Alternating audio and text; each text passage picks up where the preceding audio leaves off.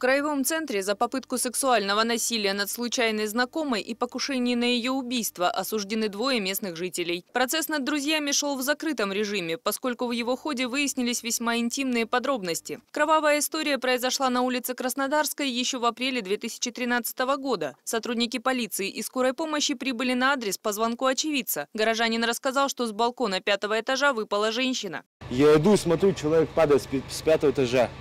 Не соврать, не солгать. Я просто испугался. Ну, ну как я человек армейский, не подойду, не, спом- не помогу человеку.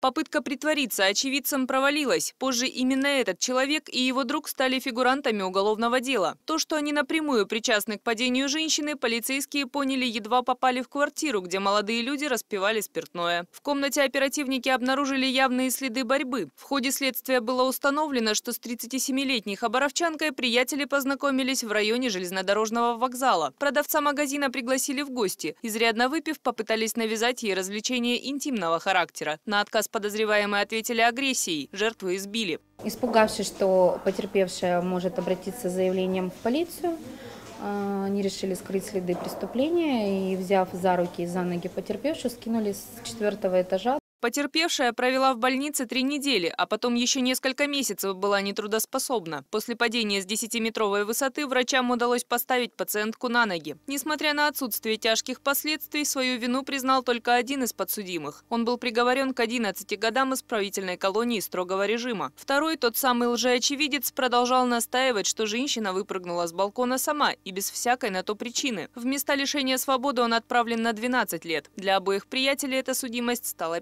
С места происшествия Евгения Куликова, Анастасия Кузьмина и Александр Шумихин.